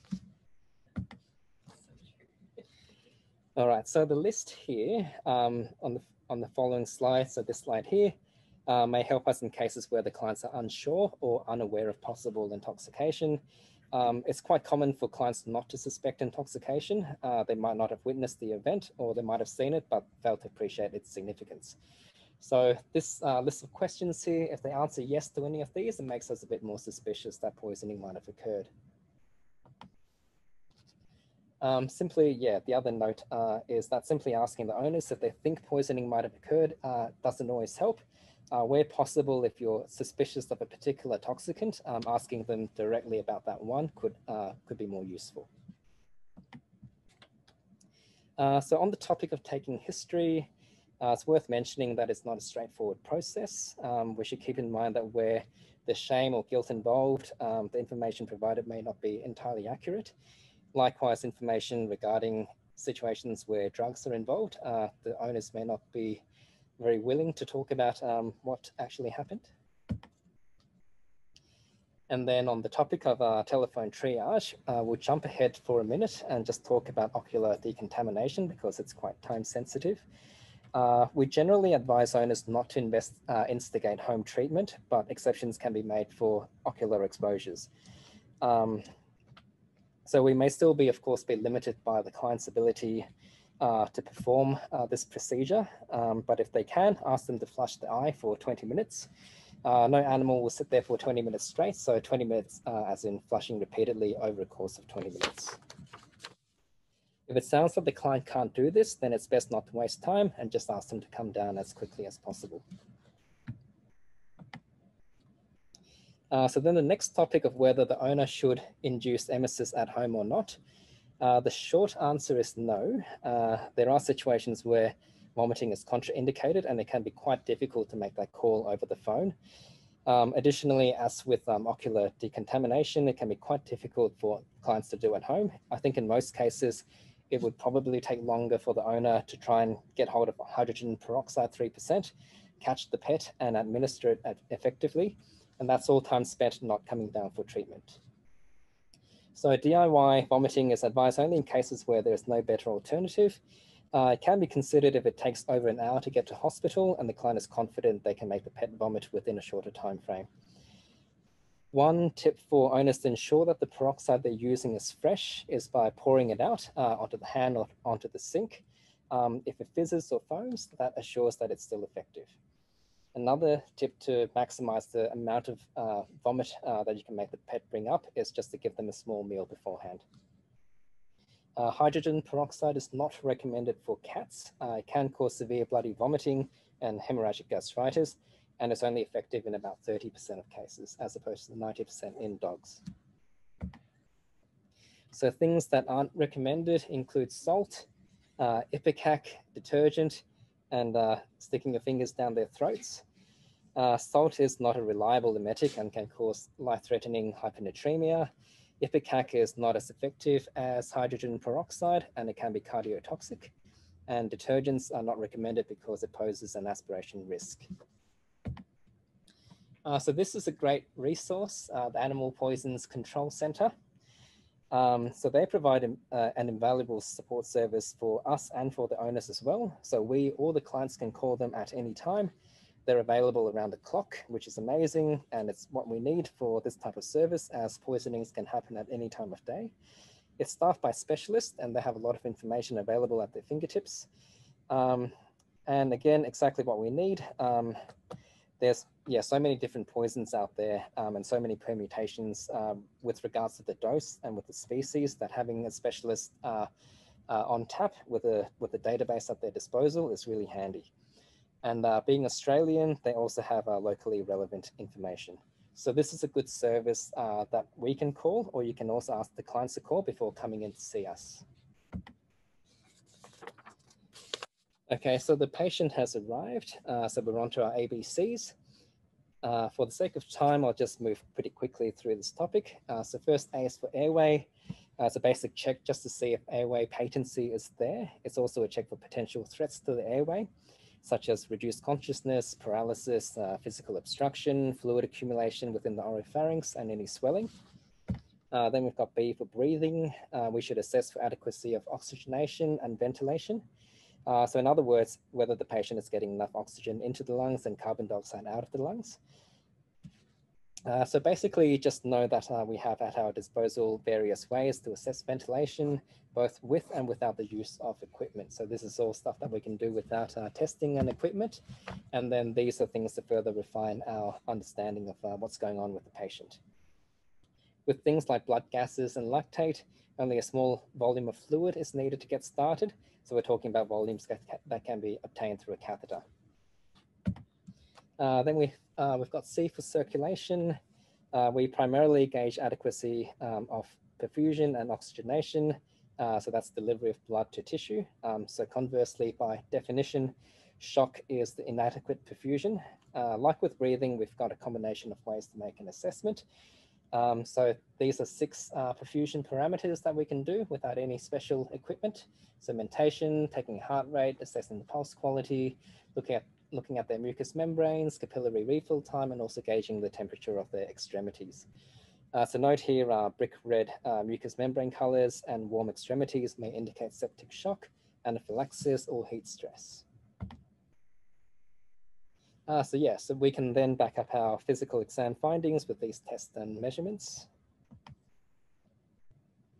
And here are some ways that we can support their airway and breathing, and some ways we can support their, um, their circulation. All right, so although it's not part of our handy uh, ABC list, uh, seizures and tremors should be addressed as part of our initial assessment and stabilization as well. Uh, so with seizures, we've got a number of different drugs that we can use depending on the circumstance. Uh, with tremors, methocarbamol is our drug of choice. All right, so then we've got um, ways, yeah, uh, decontamination. So there's various ways to uh, perform uh, decontamination of the gastrointestinal tract. We can induce vomiting, we can lavage the stomach, and then after that we can administer activated charcoal and perform an enema. The goal of decon uh, decontamination is to limit uh, continued exposure. So we want to minimize absorption and promote the excretion of the toxicant from the body. So one of the main decisions uh, initially is to whether or not uh, to initiate uh, vomiting. As we'll see in the coming slide, there are many situations where, uh, where vomiting is actually contraindicated. But let's start with why and when we should. Uh, the aim of inducing vomiting is to remove as much of the toxicant as possible before it gets absorbed or passes further down into the intestinal tract. We should consider emesis in asymptomatic patients where the time of ingestion is unknown or, whether, uh, or if it's recent, and also when the ingested thing is known to remain in the stomach for a long period of time. So things like grapes and raisins, uh, chewing gum, chocolate, food in wrappers, uh, sustained release medications. These are all things that tend to stay in the stomach. Uh, so although we typically recommend um, emesis within the first hour or two, um, those things can, um, inducing vomiting in these cases uh, where grapes and these other things are in, uh, ingested can also be quite helpful. Uh, we also really want to induce um, vomiting uh, in cases where we know the substance is highly toxic. Okay, so it's also important to, uh, to consider when inducing vomiting is not recommended. Uh, so the main contraindications are if the patient is already symptomatic or if there's an increased risk of aspiration. So there's a whole list of um, uh, possible scenarios where uh, aspiration risk is increased uh, such as uh, altered mentation, seizuring, if they've ingested things like hydrocarbons, detergents, uh, if they've got megaesophagus, reduced gag. Brachycephalics you can do, but do with, with caution. um, you also want to be very careful and about inducing vomiting where there's suspicion that they might have ingested something caustic or corrosive or where they've ingested something that's sharp. Um, and then there's a few other scenarios. So if, uh, if they've eaten something, uh, a medication that's rapidly absorbed, it might not be very effective. If they're already vomiting, um, or if they've been given antiemetics already. So things like uh, if they've already had maropitant from the referring vet, um, if they've had benzodiazepines, or um, in cases of marijuana intoxication, because marijuana is a very good um, antiemetic. Um, okay, so now that we've gone over the do's and don'ts, let's talk about how to actually do it. Uh, apomorphine is a great choice for dogs. It works in over 90% of cases. As a tip, um, it is more effective on a non-empty stomach, so you can choose to feed the patient a small amount of wet food first. It may be given intravenously, uh, but subcutaneous or intramuscular works, uh, routes work pretty quickly as well. It can also be given transmucosally. So if you don't have the injectable form, um, you can use the tablet form. Uh, you can rub it onto the gums or um, you can dissolve it in water and instill it into the conjunctival sac. Uh, this method can be quite irritating and it stains the tears a nasty green color. So if you're going to do that, just remember to rinse the eye out afterwards. Uh, so now talking about cats. Uh, cats as usual are a little bit different and they can be challenging. Uh, when they don't want to do something, chances are they, they get their way. So apomorphine doesn't work very well in cats. It only works in about 10% of the time and it causes sedation. So you often end up just with a very sedated cat, but no vomiting. Uh, sometimes it can also produce the opposite effect uh, known as morphine mania. So with cats, uh, we use uh, dexmedetomidine or xylazine, which is an older drug, also belonging to the class of alpha adrenergic agonists. It has about a 50% uh, success rate. Uh, some sources will say that uh, its success rate is higher. Uh, so the adverse effects are also similar to apomorphine, um, and you've also got a reversal agent handy, which, um, which is atipamezole. Uh, so here's a rundown of how to perform a gastric lavage. Important things to note is that it requires a general anesthetic um, in order for it to be successful, and the airway must be protected. Uh, you may also choose um, at this point to administer activated charcoal during a lavage once at the start and once at the end. So that's the that's a bit of how-to with our gastric lavage. Uh, then moving on to activated charcoal. Uh, it's known as a universal antidote uh, because it's uh, an absorbent for uh, quite a lot of different in, uh, toxicants. Um, so the goal is to, for it to bind to, to, our poisons and then for it to be excreted. So that minimizes how much of the poison gets absorbed by the patient. Activated charcoal is really effective because it has a large surface area. So one gram of activated charcoal has a surface area of about a thousand square meters, which is about the size of four tennis courts. As with other procedures, the earlier it is administered, the more effective it is. And as with other procedures, we should be aware of the contraindications. So this is a list of uh, reasons why you would um, uh, be cautious when, um, when thinking about using activated charcoal. Uh, the reasons are fairly similar to inducing vomiting. So in cases where there's a risk about uh, aspiration, you want to be quite uh, careful as well. Um, it's also good to know that there are things that uh, charcoal is ineffective in binding. So things like uh, petrol, uh, alcohols, ethanol, ethylene glycol, xylitol. so things that um, coincidentally rhyme with charcoal. Um, caustic and corrosive substances don't quite fall on that list, but also not so effective um, in those cases. Uh, you also want to um, beware of using charcoal in cases where there's a risk of ulceration. It can delay ulcer healing, uh, risk of uh, gastrointestinal perforation. So if it perforates, then the charcoal can contaminate uh, the abdomen. And uh, it makes it really difficult to perform endoscopy. If you've given the animal charcoal, everything looks black.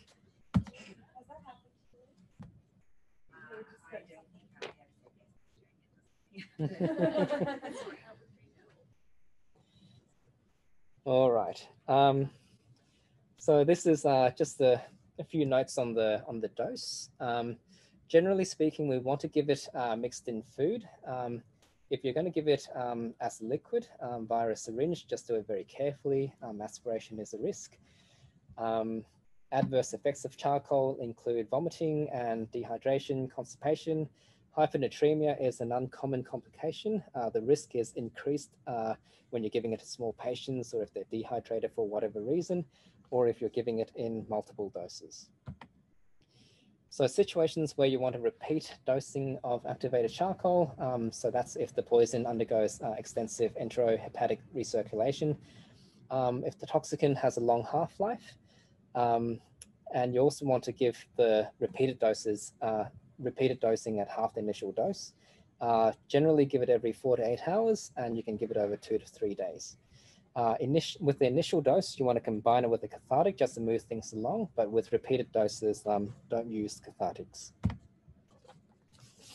So we've, um, we've gone over um, our ocular decontamination uh, technique. Uh, just a quick mention as well would be uh, topical uh, decontamination. Um, just remember to use uh, uh, PPE when we're uh, decontaminating substances that, uh, that can be damaging to skin. Uh, in long-haired patients, uh, clipping them up first will make it easier. Um, use tepid water, um, so warm, warm water, not cold water, otherwise you could cause hypothermia. in cases where you get um, acids or, or bases or anything that's really corrosive, uh, beware of using high pressure sprays and don't scrub. Uh, dry toxicants are more easily removed by brushing or vacuuming, um, and don't try to neutralize acids with bases and vice versa.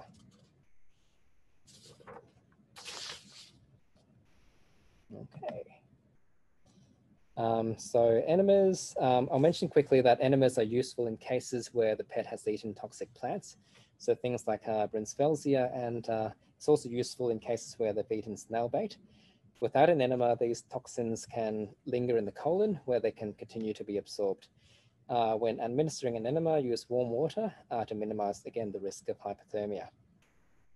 Uh, so when you get things like um, acids and alkalis, uh, so where you get cases where you can't, um, you don't really want to induce vomiting or perform gastric lavages, uh, dilution by giving the patient a drink of water or milk uh, can be helpful. And then um, this here is just for uh, completeness. Uh, so you can remove uh, things physically via endoscopy on a Friday night um, or gastrotomy.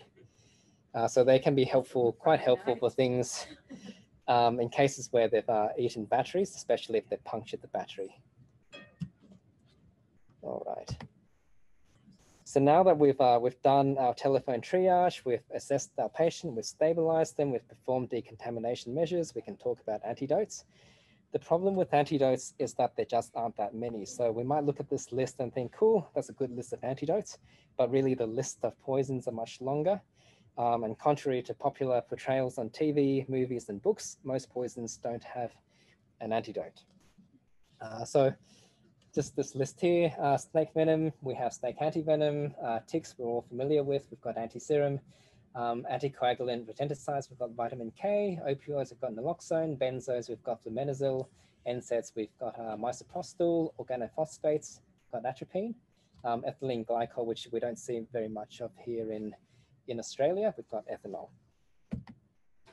Um, so I think my time is up. Uh, so I've just included this final slide here to remind us that supportive care is very important and is part of our management for the poisoned patients.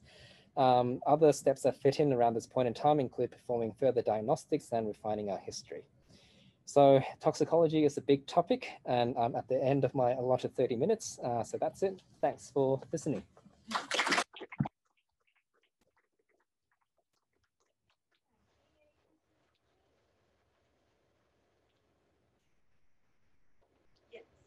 I have all the questions today. Awesome. Um, I saw that you said that you could use naloxone to reverse apomorphine. Yeah. And then I'm like, is that because it is a morphine derivative? Yeah, so it, it belongs to the opioid class. So Yeah. yeah, it has has some effects as well. So But then I if you get like a really sedated patient with apomorphine, um, yeah, you can reverse it. But metoclopramide is also. Uh, metoclopramide is good just to stop them from, from vomiting, so you get get the long vomiting if you don't um, get them. So I thought metoclopramide was like a true reverse the apomorphine as opposed to like giving them Ropitin, which Yeah. will just stop them from vomiting. Yeah, yeah, So, yeah. I think Liz, yeah, Liz, um, Liz, uh, uh, range, yeah, mentioned that the other day. Yeah, that was something that I wasn't aware of in general practice. I was actually giving um, Cerenia. I never thought to use uh. Yeah, a vet Yeah. that I work with did that too, and I was like, you know, is cheap. Yeah. Oh my god. Yeah, I didn't realize that.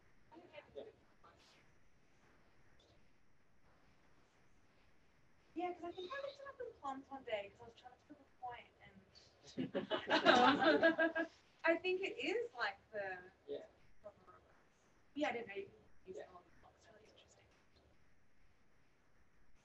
More questions? if you need help with animals though, Yeah. Josh is known for Oh, Like, so that's the really scope, so he also does the enemies Yes. both ways. It's different. If you hear the story behind that, Keith, No? when he took the internship here, he said to me, "Oh, I'm so excited! I'll never have to do a rabbit like case again or an enema." and then when he first arrived here, the first like month of being here, he did like three enemas. really every, every Friday. um, he just said, "Oh, this is going to be great." No, but you haven't. Sorry, seen not that, sorry, Jeff. Thank you, Um, And I think something really important in that is that we do have the antidotes, although there's very few for opioids and for non-steroidal overdoses. So just from a medical error point of view, is if you do accidentally administer more opioid than you intended, or you give a non-steroidal and then someone else gives a non-steroidal because the freaking iPads aren't syncing, whatever. Like we just want you to be honest in those situations because we can actually do something about it. So don't run to the bathroom and cry. Just come to someone, even if it's not the clinician involved, and just tell someone because we can actually do something about it. Um, that's it.